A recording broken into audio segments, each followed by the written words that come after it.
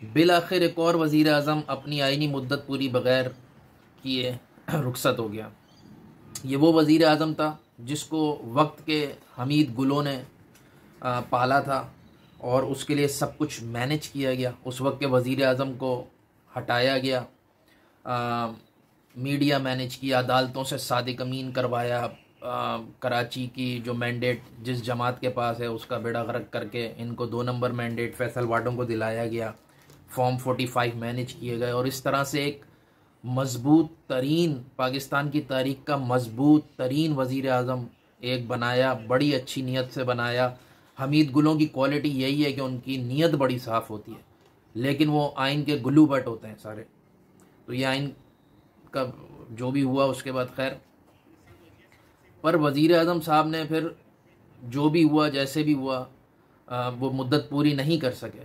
तो अब हमें देखना है कि अब ख़ासकर फिर उनकी जिस तरह से रुखसती हुई, ये जो एंड के कुछ दिन थे, ये बड़े ही बुरे दिन थे पाकिस्तान की तारीख के वैसे लेकिन अब हम देखते हैं कि इन सब चक्रों में क्या खोया इन आखिरी दिनों में और क्या पाया, ख़ासकर पीटीआई और इमरान खान ने। तो क्या खोया इमरान खान साहब ने? तो नंबर एक सबसे बड़ी चीज़, एक जमहूरी सो कॉल्ड जमहूरी लीडर आइन शिकन हो गया, उसने आइन तोड़ा। नंबर दो, उसने खुद को नाअहल कराने का पूरा बंदोबस्त कर लिया। अब एक तलवार लटक गई है कि वो नाअहल होंगे। जब भी अदालतें या तो आज़ाद हुई या फिर हवा चेंज हुई या फिर इन्होंने दोबारा आने की कोशिश की और इनको रोकना कि अब ये कॉम्प्रोमाइज़ हो गए तो ये तलवार लटकती रहेगी। एटलीस्ट इन्हें पाँच साल के लिए नाहल होना पड़ेगा और पाँच साल इमरान खान को इकतदार से दूर कर लो तो गेम इज़ ओवर उनकी उम्र अस्सी साल हो जाएगी, फिर बस अल्लाह ही हो नेक्स्ट जो उन्होंने लूज़ किया, वो ये था अपने वोटरों ने जो उनको जो रिस्पॉन्सिबिलिटी दी थी रिस्पॉन्सिबिलिटी वो उन्होंने पूरी नहीं की, बिल्कुल भी पूरी नहीं की। और अब इसकी मुख्तलिफ़ वजूहत कि भाई आइन शिकनी की, उसकी वजूहत हो सकती हैं मुख्तलिफ़, और सबसे बड़ी उसकी वजूहत ये थी कि वो आइन और कानून से बाला तर थे हमेशा से, क्योंकि उनके पीछे जो कुतें थी, उन्होंने उन्हें यह समझा दिया था कि तुम्हें, तुम पे आइन नहीं लगता, तुम पे कानून नहीं लगता। ए आर वाई पे जिसने हमला कराया था, वो तो नायल हो गया। पूरी कराची की एक जमात ख़त्म हो गई। सही हुआ, बहुत ज़बरदस्त, बेहतरीन। लेकिन जिसने पीटीवी पे हमला किया था, स्टेट चैनल पे, उसका क्या हुआ? जिसने इस्लामाबाद पुलिस के लिए कहा था, मेरे टाइगरों इस्लामाबाद पुलिस पे झपट पड़ो और टाइगर झपट भी पड़े थे, उसका क्या हुआ? फॉरेन फंडिंग का क्या हुआ, वगैरह वगैरह। तो उस पर कानून कभी लगा ही नहीं, उस पर कानून कभी चला ही नहीं तो उसने फिर एंड में आइन आइन ही तोड़ना था, और क्या करना था? तो नेक्स्ट जो उन्होंने बहुत बड़ी चीज़ कर दी अपना नुकसान, वो ये कि अपने आइंदा के आने के दरवाजे बंद कर दिया पीटीआई कभी भी वफाक के इकतदार में नहीं आएगी। अब ये के पी के की जमात बन जाएगी। उसकी बहुत ज़्यादा मैं रीज़न्स बता सकता हूँ, लेकिन सबसे बड़ी रीज़न ये कि अब इस्टेब्लिशमेंट ने देख लिया कि यार ये बंदा तो इतना अनप्रिडिक्टेबल और इस, ये कुछ भी कर सकता है। ये मुल्क की फॉरेन पॉलिसी का बेड़ा गर्क कर सकता है, ये एक दिन कुर्सी पर रहने के लिए क्या कर सकता है? और आपकी सुनी, सुनता ही नहीं है, किसी की नहीं सुन सकता। ऐसा बंदा नहीं चाहिए। अब ये आएँगे भी वोट लेके तो जो इन्हें लाए थे फ़र्स्ट टाइम वो इन्हें रोकना भी जानते हैं फिर। ने, अब उन्होंने पाया क्या इन सब करके? तो जो सबसे बड़ी उन्होंने चीज़ पाई, वो ये थी कि जो यूथिया मर मरने के करीब था, वो सोच रहा था कि यार सुकून सिर्फ़ कबर में वो इस पर सीरियस गौर कर रहा था। वो दोबारा ज़िंदा हो गया। तो ना सिर्फ़ यूथिया ज़िंदा हो गया, बल्कि इमरान खान की पॉपुलैरिटी बहुत बढ़ गई। तो उन्होंने काफ़ी कुछ गेन किया। नेक्स्ट पिछले गुनाहों को लोग भूल गए कि भाई इन्होंने साढ़े तीन साल परफॉर्म कैसे किया था। और इसी से अगला नेक्स्ट ये है कि जो अब इलेक्शन में जाएँगे तो जाना तो इन्होंने एक्चुअल इसलिए चाहिए था कि भाई मेरी ये परफॉर्मेंस है साढ़े तीन साल की। जैसे शहबाज शरीफ जाता था पंजाब में कि भाई मेरी ये परफॉर्मेंस है, आओ वोट दो, लोग वोट परफॉर्मेंस पे देते थे। पीटीआई अगर परफॉर्मेंस पे जाए तो इसको मुश्किल से पूरे पाकिस्तान में दस सीटें मिलेंगी। लेकिन अब पीटीआई परफॉर्मेंस पे नहीं जाएगी। अब जाएगी मजलूमियत कार्ड पे anti America hero anti Bharat hero और जनाब मुल्क का वफादार और फलाना और ढिमाका और इसके ऊपर जाएँगे। तो ये पीटीआई ने पाया और खोया। और लास्ट चीज़ जो पीटीआई ने खोई वो हुकूमत थी। तो क्या हुकूमत बच सकती थी? जी, हुकूमत बच सकती थी। लेकिन जब एक नार्सिसिस्ट लीडर बैठा हो, जिसको अपनी ज़ात के अलावा कुछ ना दिखता हो, और उसकी ज़ात से मुकदम कोई भी चीज़ ना हो तो फिर ये रिज़ल्ट है। क्यों? क्योंकि इमरान खान के पास ऑप्शंस थे।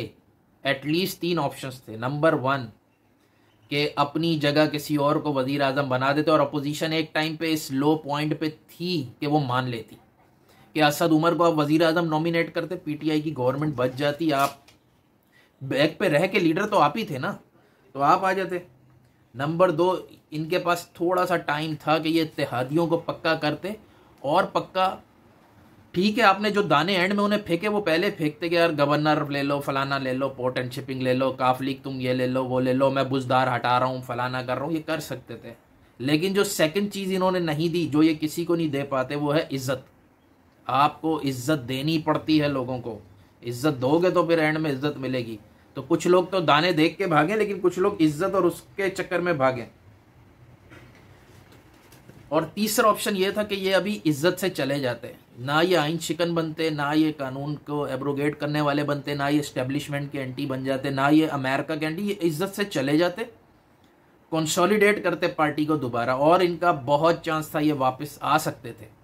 लेकिन नार्सिसिस जल्दी में होता और दूसरा वो कि उसके कब्जे में जो चीज़ हो वो किसी को दे नहीं सकता। कभी भी नहीं दे सकता नार्सिसिस्ट अपनी चीज़ किसी को नहीं दे सकता। और अगर कभी उसे देनी पड़ जाए तो फेंक के देगा। या बच्चों में देखिएगा कुछ कि वो बच्चे अपनी चीज़ नहीं देंगे। और अगर उनको ज़बरदस्ती देनी पड़ जाए, चाहे वो दूसरे की ही चीज़ थी तो वो फेंक के देंगे। लास्ट में, मुल्क ने क्या खोया और मुल्क ने क्या पाया? तो मुल्क ने जो खोया है, वो ये है कि मुल्क माशी तौर पे तबाह बर्बाद हो गया है। अब किसी का अब्बा दादा भी इसको नहीं उठा सकता। अब अपोजिशन का बुरा टाइम शुरू हो चुका है, यानी कि शहबाज शरीफ और पी डी एम इनका। अब इनको गालियाँ खाने के लिए तैयार रहना चाहिए। मुल्क जिस नहज पे है, कोई नहीं उठा सकता इनको। और ये जितनी देर रहेंगे इनको इलेक्शन में उतना नुकसान होने का चांस है।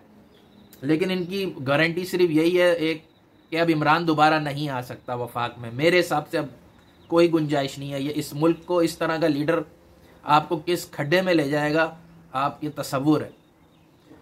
नंबर दो, मुल्क इंटेलेक्चुअली बहुत पीछे चला गया वो इस तरह कि कच्चे जहन ज़ाहिर है, हम भी जब यंग थे, हम भी ऐसे ही यूथियों वाला हमारा भी माइंडसेट था।